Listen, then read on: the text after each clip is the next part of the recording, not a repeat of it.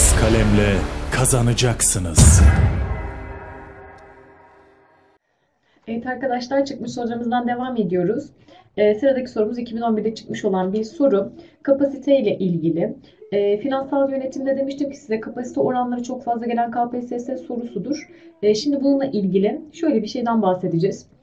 İşletmenin bir yılda 750 bin TL, pardon 750 bin adet C malı üretme kapasitesi var. Fakat kapasite kullanım oranı %80. Yani işletme 750 bin tane ürün üretme kapasitesine sahipken biz 750 binlik ürünün %80'lik kısmını üretiyormuşuz. Yani 750 bin tane üretme kapasitemiz varken biz bunun %80'ini kullanıyoruz. Şimdi hemen 750 binin %80'ini alıyoruz arkadaşlar. %80'i 600 bin adet ürün demektir. Yani biz bir firma olarak 600 bin adet ürün üretiyormuşuz. Ve yıllık sabit üretim maliyetlerimiz 150 bin TL. Maliyetlerimizi vermiş bize sabit maliyetlerimizi. C malının birim satış fiyatı 2 TL, birim değişken maliyeti de 0.75. Şimdi bize yıllık karımızı soruyor. Şimdi hemen şöyle bir hatırlatma yapalım. Bizim için kar ne demektir? Elde etmiş olduğumuz gelirlerimizden katlandığımız giderleri düşeriz ve bize neyi verir? Karımızı verir değil mi? Başa baş noktasından hatırlayın orada bahsetmiştik sizlere. E, gelirin gidere eşit olmuş olduğu yerde karın sıfır olduğu başa başa geçtiği yer.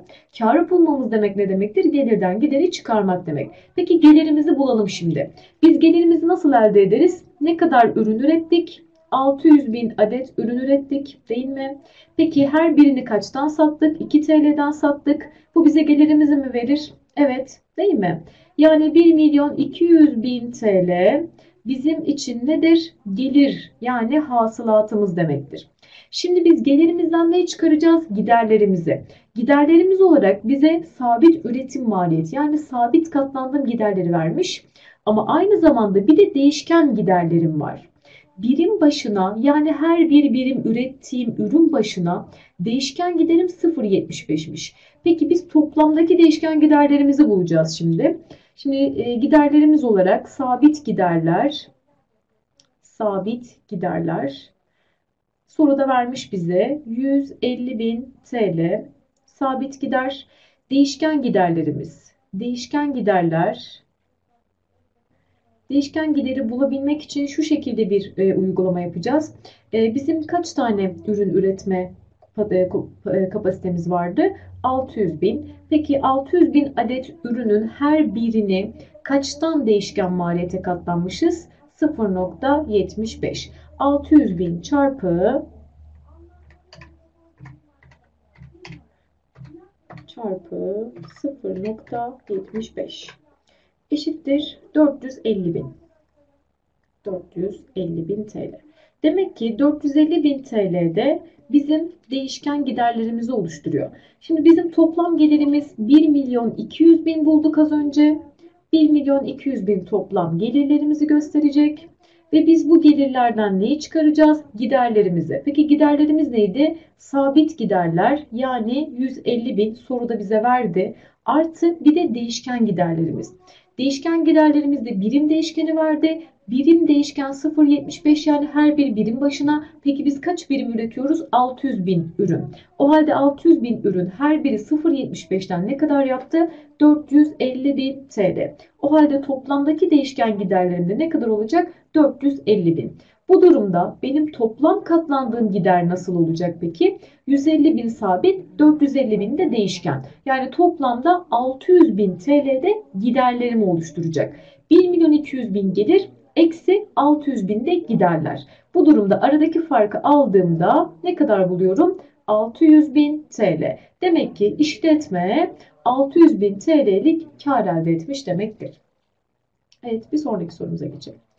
Kayısı üreticisi olan bir çiftçinin karayolu üzerinde tezgah kurarak ürününü satması. Evet arkadaşlar pazarlama türlerimizle ilgili güzel bir soru size. Doğrudan ve dolaylı pazarlamamız var. Doğrudan pazarlama neydi? Araya aracı koymaksızın. Dolaylı pazarlama neydi? Araya aracılar koyarak ürünün pazarlamasını yapmak.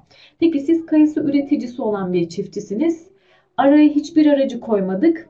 Direkt tezgahımızı kurduk, kayısılarımızı sattık. Aracı var mı? Yok. Nasıl bir satış? Doğrudan. Demek ki bu bizim için nedir? Doğrudan pazarlama türüdür. Ev ve iş yerlerinde duvar saatlerinde kullanılan kalem pili. Bakın işletmeyle ilgili değil de daha çok iktisat sorusu gibi değil mi? İşletme dersinde de yani iktisat e, derslerinden bildiğiniz sorular da çıkıyor. O yüzden bu tarz soruları hiç kaçırmayın. Ee, ev ve iş yerinde kullandığımız duvar saati nasıl bir maldır bizim için? Teknik, mekanik, ticari mal, endüstriyel mal diyebilir miyiz? Diyemeyiz değil mi? Direkt bizim için nedir bu? Bir tüketim malıdır. Zaten size böyle bir soru geldiğinde ya tüketim malını sorar ya da endüstriyel malı sor sorar. Peki endüstriyel mal dediğimiz şey neydi? Endüstriyel mal bizim ürettiğimiz bir ürünü farklı bir firma kendisi için tekrar onu ham madde niteliğinde kullanıyorsa biz buna endüstriyel mal diyorduk. Belki bu yılda endüstriyel mal soru olarak gelebilir. Dikkat ediyorsunuz.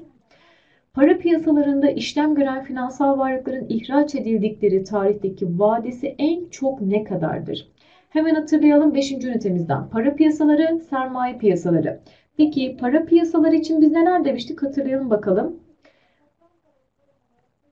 Para piyasaları nasıldı? Vadeleri daha kısa vadeli.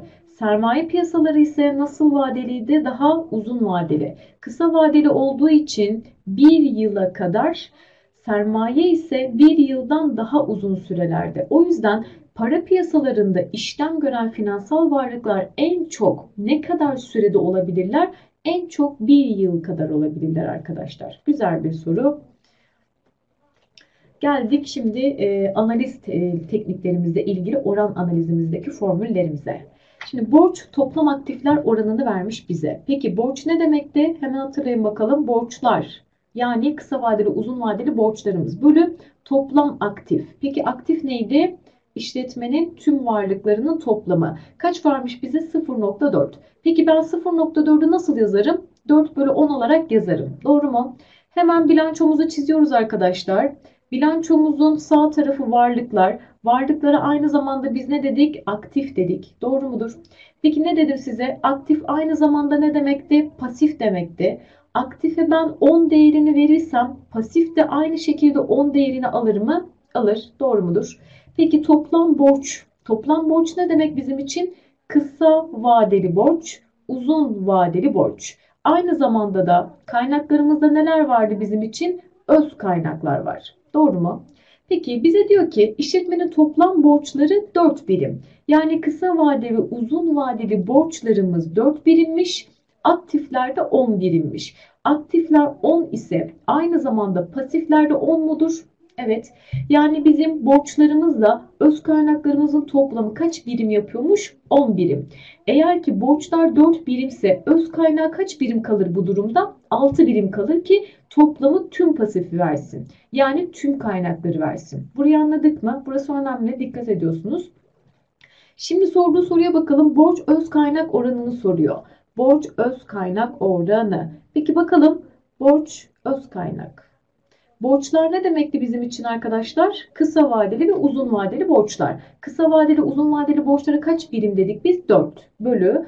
Paydada neyi görüyorum? Öz kaynakları. Peki biz az önce yukarıdaki bilgiye göre öz kaynaklarımızı da kaç birim bulduk? 6 birim bulduk. Bu durumda 4 bölü 6'dan sadeleştirdiğinizde 2 bölü 3 bu da size 0.6666 e, diye yuvarlayarak gidiyor. Ve biz bunu 66.7 diye kısaltabiliriz. Evet. Geldik bir diğer sorumuza. Teknoloji bir organizasyonda aşağıdakilerden hangisini etkilemez? Çok güzel bir soru. Genel anlamda bir soru. Bakın işletmelerdeki teknoloji, kullanılan teknoloji ya da yeni teknoloji ayak uydurma hangisini etkilemez? Teknoloji kişileri etkiler mi? Mesela çalışan kişileri teknoloji etkiler mi? Örneğin önceden insan emeğinin yapmış olduğu bir işi artık makineler yapıyorsa direkt kişilerin o işi yapmasıyla ilgili bir işsizlik durumuna düşürebiliyor mu? Düşürebilir, etkiler. Peki teknoloji denetim alanını nasıl etkiler? Önceden muhasebe kayıtları bir defter üzerinde yapılıyorken şimdi muhasebe kayıtları bilgisayar üzerinde mi yapılıyor? Bu şekilde denetim olanı daha farklı bir boyuta taşındı mı? Bu neyle mümkün oldu? Teknolojinin gelişmesiyle.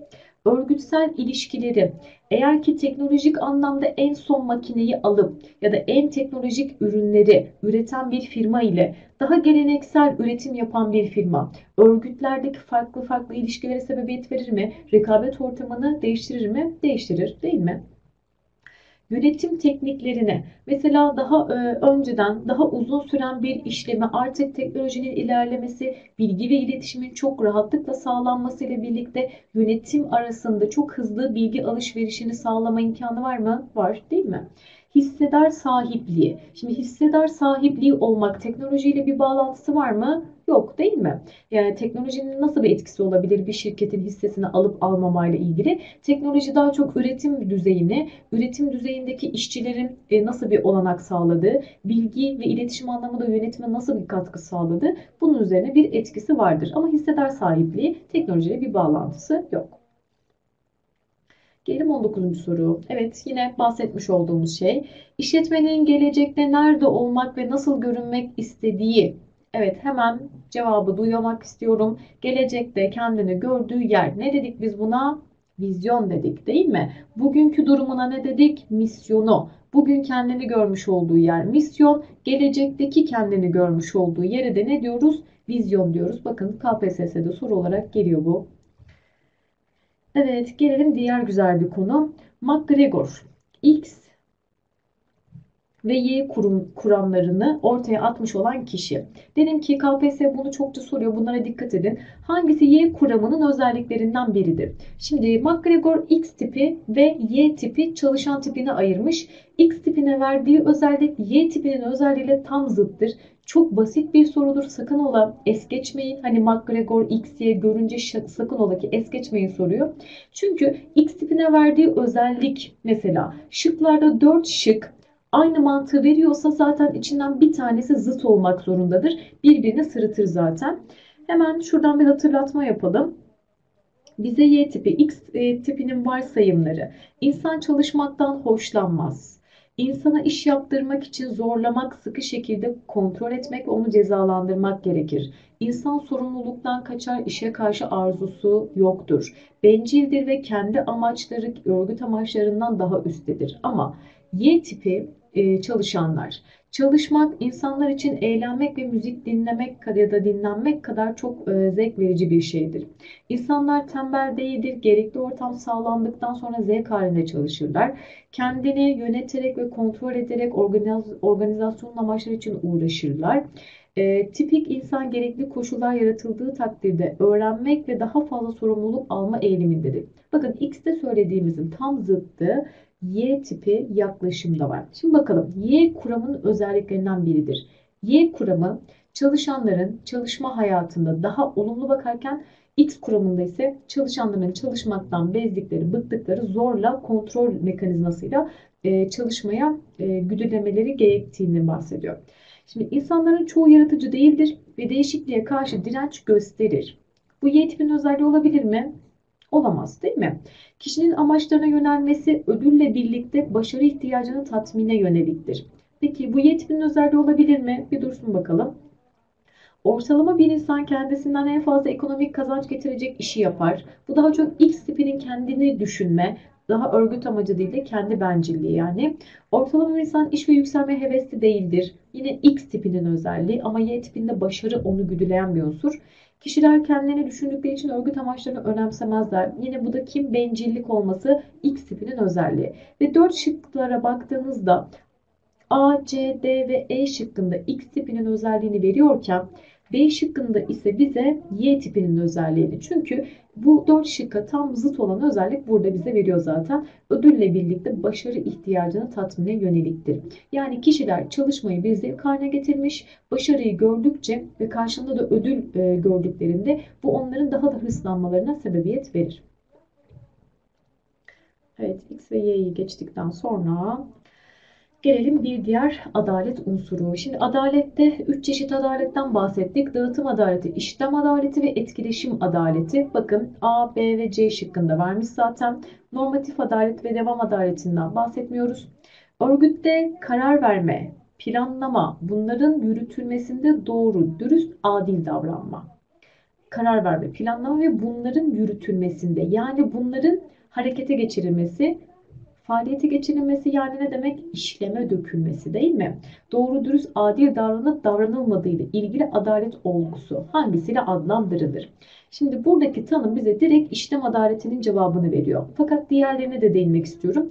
Etkileşim adaleti dediği şey şudur. Yöneticinin örgütte çalışan çalışanlarına aralarındaki e, yaklaşımlarına adil davranmasına etkileşim adalet ediyoruz. Mesela bir çalışana çok yakın samimi davranıyorken diğer çalışanına e, işte onun kişisel dış görünüşü ya da başka bir şeyinden dolayı farklı davranması. Bu yöneticinin adil davranmaması etkileşim adaletin, adaletsizliğine örnek olur. Dağıtım adaletinde ise aynı işi yapan, aynı eşit düzeylerde çalışan kişilere dağıtımlarının adil yapılmaması. Örneğin ücretlerde farklılaştırma yollarına gidilmesi. Buna da dağıtım adaleti diyoruz. Fakat burada kararımızı verdik, planlamamızı yaptık ve bunların iş işte yürütülmesi yani artık işleme dökülmesinde adil, e, doğru, dürüst davranmaya da işlem adaleti adını veriyoruz. Belki bu yıl sorularda diğer adalet tanımları gelebilir. Dikkat edin. Şimdi bir işletmenin müşteri ilişkileri, sipariş karşılama, tedarikçi ilişkileri süreçlerini bağlayan hizmet, malzeme, bilgi akışı. Şimdi güzel bir soru tipi. Direkt tanımından ne olduğunu çıkarabiliyorsunuz. Şimdi hepsi de tedarikle başlıyor. Dikkat edin. Tedarikçilerle ilişkiler, müşterilerle bağlantılı ilişkiler ve sipariş karşılama. Tüm biz buna belirli bir süreçte e, izleyen bir zincirden bahsediyoruz ve bunun adına da tedarik zinciri adını veriyoruz arkadaşlar. Tedarik süresi, duyarlılığı, tedarik kanalı, kapsamı böyle bir tanımlardan hiç bahsetmedik. Ee, ama hepsinde de tedarik kelimesini kullanması tamamıyla kafa karıştırmak amaçlı verilen bir soru tipi. Direkt tanımımızdan tedarik zinciri olduğunu anlıyoruz. Bir diğer sorumuz. Hangisi stok yönetim modellerine kullanılan maliyet bileşenlerinden biri değildir? Direkt bilgi sorusudur arkadaşlar. Bunu da slaytımızda görmüştük. Stok maliyet türlerinde sipariş maliyeti, stok bulundurma veya diğer ismi elde tutma, stok bulundurmama ya da diğer ismiyle de stoksuz elde tutmama maliyeti. Hepsini topladığımızda da toplam katlandığımız maliyeti bulmuş oluyoruz. Bakın stok maliyetinde 3 tane maliyet türümüz var. Sipariş, stok bulundurma ya da elde tutma, stok bulundurmama veya elde tutmama. İkinci isimler her zaman önemli. Bakın göreceksiniz soruda. Elde bulundurma maliyeti var mı? Var değil mi? Stok tutma veya elde bulundurma aynı şey. Elde bulundurmama maliyeti bu da var değil mi? Stoksuz, stok tutmama, elde bulundurmama aynı şeye geliyor. Sipariş verme maliyeti az önce slaytta gördüğünüz şurada ilk sırada yer alan sipariş maliyeti dedik. Geldik toplam stok maliyeti. Yani bunların hepsini topladığımızda katlandığımız maliyete de toplam stok maliyeti diyoruz. Hızlandırma maliyeti diye bir şeyden bahsetmedik. Direkt bilgi sorusu arkadaşlar. Slayttan da tekrarınızı yapabilirsiniz. Stok kontrol yöntemleriyle ilgili bunları da hatırlatmak amacıyla böyle bir koydum. Bunları tekrar videolarımızdan izleyip de e, stok kontrol yöntemlerine mutlaka değinin. Çünkü bunlar e, hemen hemen her yıl gelebilecek bir e, garanti hani soru tipidir KPSS'nin. O yüzden bunlara dikkat ediyorsunuz. İhtiyaç kavramı ile ilgili hangisi yanlıştır? Evet ilk ünitelerimizden ihtiyaçlar, istekler nelerdi? Bakalım. İhtiyaçlarla ilgili Abraham Maslow'un ihtiyaçlar hiyerarşisi teorisi bizim için çok önemliydi. İhtiyaçlar tatmine yarayan araçlar arasında ikame olabilir dedik. Bazı ihtiyaçlar karşılandıkça şiddeti artar. Şiddet bakımından her bir ihtiyaç birbirinden farklıdır dedik. İhtiyaçlar süreklidir ve sonsuzdur. En basitinden kendi günlük hayatımızdan düşünelim. Hiçbir şekilde ihtiyaçlarımız son bulmuyor değil mi? Hep her gün yeni bir ihtiyaç gereksinimi. Yaş, cinsiyet, meslek, yaşanan toplumun özellikleri gibi bir sürü değişkenler bizim ihtiyaçlarımızı etkileyebiliyor. Şimdi bakalım hangisi yanlıştır? Güzel bir soru. İhtiyaçlar insanların temel gereksinimleridir. Doğru mu? Değil mi? Bir takım gereksinimlerimize karşılık biz ihtiyaç duyarız. Her zaman basit değildir. Anlaşılması için yorum yapılması gerekebilir. Değil mi? İhtiyaçlar her zaman çok basit nitelikte olmayabilir. Bazen yorumlar katarak da bu ihtiyaçların neler olduğunu ölçmemize e, sebebiyet verir. Yokluğun meydana getirdiği gerilim halidir. Ne dedik? İhtiyaçlar giderildikçe e, kişiye zevk verirken eğer giderilmezse yokluğunda da acı ve ızdırap verebilirler dedik. İnsanlar yeme içme kadar dinlenmeye de ihtiyaç duyarlar. Dinlenme de bizim için bir ihtiyaç mıdır? Evet, ihtiyaçtır. İhtiyaçlar belli nesnelere yönlendirildiklerinde talep ortaya çıkar. Şimdi ihtiyaçları biz belli nesnelere yönlendirdiğimizde değil, ihtiyaçlar ortaya çıktıkça zaten biz bunları talep etmiş oluyoruz. Yani illaki belirli bir şeye yönlendirmeye ihtiyaç var mıdır? Yoktur değil mi? İhtiyaçlar ortaya çıktıkça talep edilir ki firmalar da bu talepleri karşılama gereksinimine giderler ve buna göre de bir firma üretim sürecine girmiş oluyor. Yani belirli bir nesneye yönlendirme söz konusu değil. O yüzden yanlış cevabımız E şıkkı.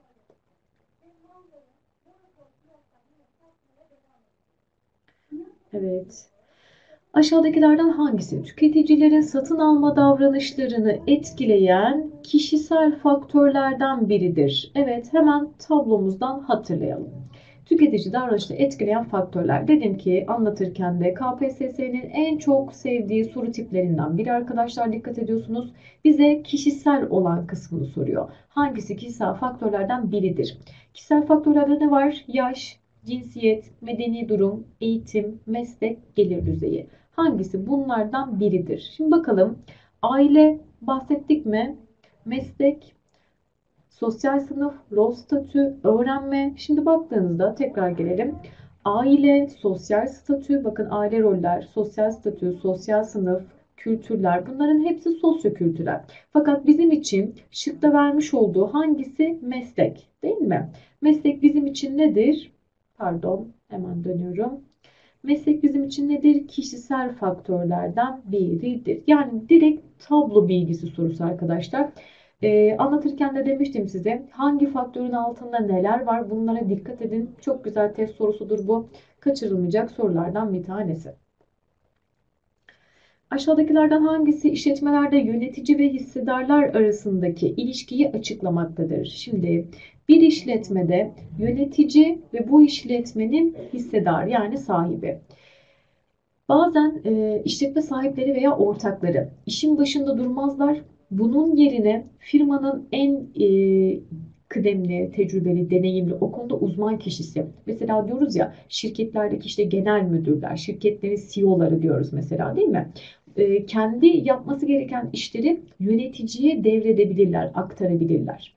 Yani burada işletme sahibi, işletme sahibi tüm görev ve yetkilerini kime aktarmış oluyor? Yöneticiye. Yani sahip bu yöneticiyi aynı zamanda ne yapmış oluyor? Kendine bir kendi yerine bir vekalet vermiş oluyor değil mi? Kendi adına bir vekil atamış gibi tüm sorumluluk kime ait? Yöneticiye ait. Bu şekilde hareket edebiliyorlar. Ve yönetici ile hissedar arasındaki bu ilişkiyi biz kendisine vekil atadığı için vekalet teorisi adını veriyoruz. Bakın çok basit bir soru. Hani direkt e, tanımdan nedir diye, teorinin adı nedir diye. Direkt sahibin yönetici, vekil vekili olarak atamasından kaynaklı ortaya çıkan teoriye vekalet teorisi adını veriyoruz. Kendi yapmamız gereken işi yöneticiye yaptırdığımızda bu, onun katlanmış olduğu sorumluluktan sahip olarak bizler de sorumlu olmuş oluyoruz. Hangisi para piyasası araçlarından biri değildir? Evet, 5. ünitede bahsetmiştik. Hemen hatırlayalım bakalım. Para piyasası, sermaye piyasası. Şimdi bakın ser, ne dedim ben anlatırken? Sermaye piyasası aracımız iki taneydi. Hisse senedi ve tahviller. Eğer ki şıklarda ikisinden birini koyarsa bu sermaye piyasası, geri kalanların hepsi para piyasası demektir. Değil mi? Şimdi bakalım sorumuza tekrardan. Şimdi şıklarda bakıyorum hisse senedi veya tahvil arıyorum. Baktığınızda direkt hisse senedi E şıkkında gözüme çarpıyor. Hisse senedi bizim için hangi piyasanın sermaye piyasasının aracı? Sermaye piyasası aracı olduğu için para piyasası araçlarından biri değildir arkadaşlar. Bakın direkt sadece ikisini bilseniz bile yeterli size. Bu e, sorularda yine hiçbir şekilde kaçmayacak olan sorular. O yüzden çok dikkat edin bu sorulara. Yine finansal piyasaları da bir tekrar edelim. Evet, gelelim diğer bahsetmiş olduğumuz bir konu. İlk ünitelerimizden yine 2013'te gelmiş bu soru. Girişimci ve yönetici tanımlar arasındaki farklara göre hangisi yanlıştır? Şimdi girişimci ve yönetici tanımlarını yaptık ve aralarındaki farklılıktan bahsetmiştik. Yönetici dediğimiz kişi kim? İşletmeyle bağlantılı olarak işletmenin bir çalışanı gibi hareket eden, işletmenin ona vermiş oldukları sorumlulukları yerine getiren, e, işletme ile ilgili bir takım e, sorumlulukları yerine getirip üstüne bu sorumluluğun hesabını veren kişi. Girişimci dediğimiz kişi kimdi? Üretim faktörlerini bir araya getirip belirli bir risk üstlenen, ortaya sermaye koyan ve bu sermayenin sonucunda kar veya zararla sonuçlanan duruma katlanan kişi. Yöneticinin böyle bir görevi var mı? Yok, değil mi? Şimdi bakalım. Girişimci üretim faktörlerini bir araya getirir. Yönetici bir ücret karşılığı görev üstlenir. Bak yönetici işletmenin bir çalışanı belirli bir ücret veya maaş karşılığı çalışıyor. O yüzden de e, girişimciden böyle bir farkı var. Girişimci toplumun ihtiyaç ve isteklerini sezen kişidir. Şimdi üretim faktörlerini bir araya getirerek ne kurmak isteyecek girişimci? Bir işletme kuracak değil mi? Ve bu işletmeyi kurarken de neye dikkat etmesi lazım? Tüketicilerin, müşterilerin neye ihtiyaçları ve istekleri var. Ve buna göre de ne yapacaktır? Ona göre bir işletme kurulumuna gidecektir. Yönetici, girişimci gibi kardan pay alır ve risk üstlenir. Şimdi bakın kardan pay alan yani sermaye koyup sermayenin karşılığında karının payını alan ve risk üstlenen kişi girişimcidir. Ama yönetici girişimci gibi risk üstlenir mi? Hayır. Direkt yanlış olan şıkkımız D şıkkı. Girişimci niteliklerinden biri de yöneticiliktir. Evet girişimci aynı zamanda birçok faktörü bir araya getirip aynı zamanda da yönetici gibi karar alıp e, bu kararları uygulamaya döken kişidir. Evet, gelelim 2013 bir diğer tanım sorumuz. Bir beyaz eşya fabrikasının üretim hattında çalışanların görevleri, yorgunluk ve monotonluğu azaltmak amacıyla periyodik olarak değiştirilmesi. Bakın, üretim hattında çalışanların görevlerinin değiştirilmesi. Direkt görev değişikliği ne demek? Bakın, cevabımız direkt rotasyon kelimesine bizi yönlendirecek. Rotasyon ile oryantasyonu sakın ola birbirine karıştırmayın dedim anlatırken. Yine insan kaynakları departmanımızın sorularından bir tanesi bu. O konuda uzmanlaşma e, kişiyi sadece o görevle görevlendirdiğimizde o görev üzerinde birçok bilgi, gereksinim, tecrübeyi ona yüklemeye uzmanlaştırma diyoruz. Ama sonra bize ne diyor?